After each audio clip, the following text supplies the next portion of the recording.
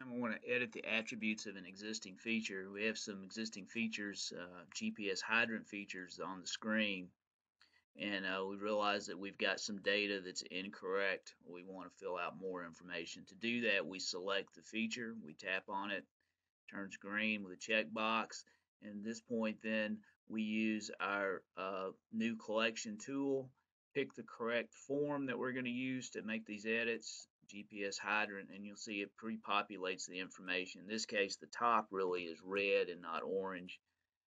And we'll save, and then we can go to the next one.